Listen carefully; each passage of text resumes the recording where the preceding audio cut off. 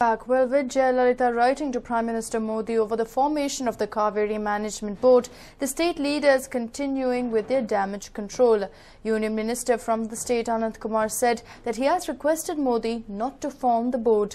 Yesterday, Chief Minister Jayalalitha had reiterated to the Prime Minister urging the need for forming the Kaveri Management Board and the Kaveri Water Regulation Committee as per the final order of the River Water Disputes Tribunal.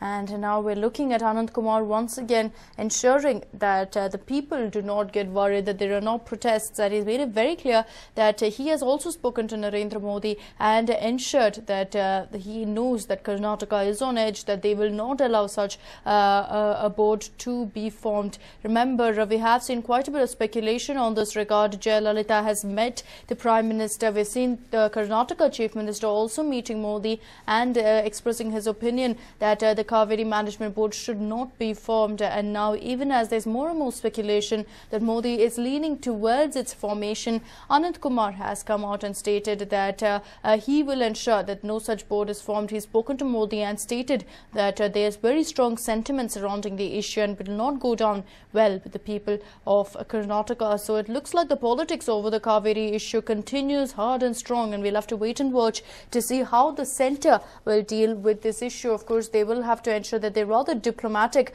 but uh, at the same time, not to go ahead and gross the people of either Tamil Nadu or Karnataka. We have to also keep in mind that Modi has spoken to Jayalalitha with regards to support in the Rajya Sabha. So if she in fact puts across a condition that if the board is formed, she will then go ahead and give support, then we'll have to wait and watch to see how the BJP will play it.